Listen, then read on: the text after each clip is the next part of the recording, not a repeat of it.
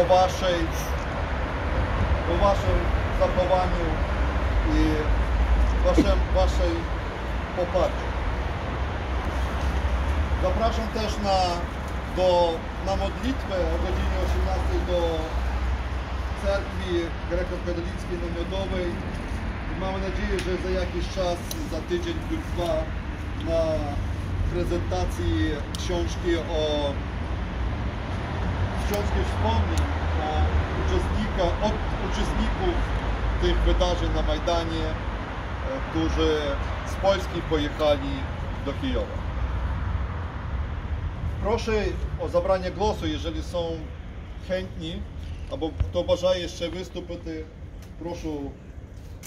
Це відкрита площадка, відкрита демократична інституців е, Сцена, яка була на Майдані, і кожен, хто хотів, то міг сказати слово.